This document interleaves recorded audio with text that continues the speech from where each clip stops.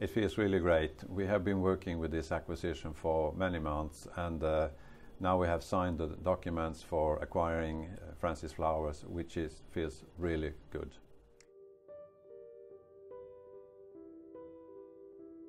Well, LKAB is in the iron ore business, and uh, that means that the iron ore price will fluctuate over time, and we need something to balance out that fluctuation.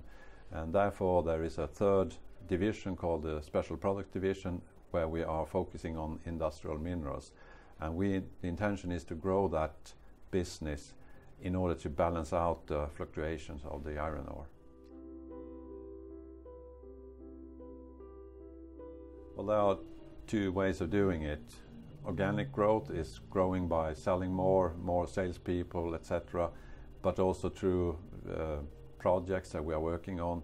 A good example of that is apatite, where we intend to take apatite and transform it into uh, phosphorus. Uh, but the other part is acquisitions, and we have been actively looking and searching for a company that fits in well into our business, and we have found that now through this acquisition.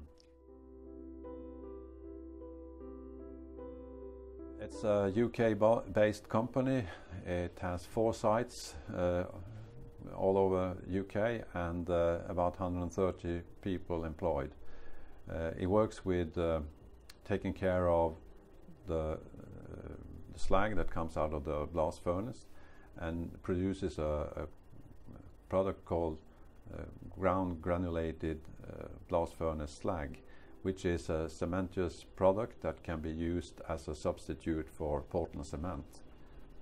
It's also something where we look at uh, LKAB is delivering iron ore to British Steel, but we also take care now through this uh, acquisition of the slag. That gives us a bit of a circle economy.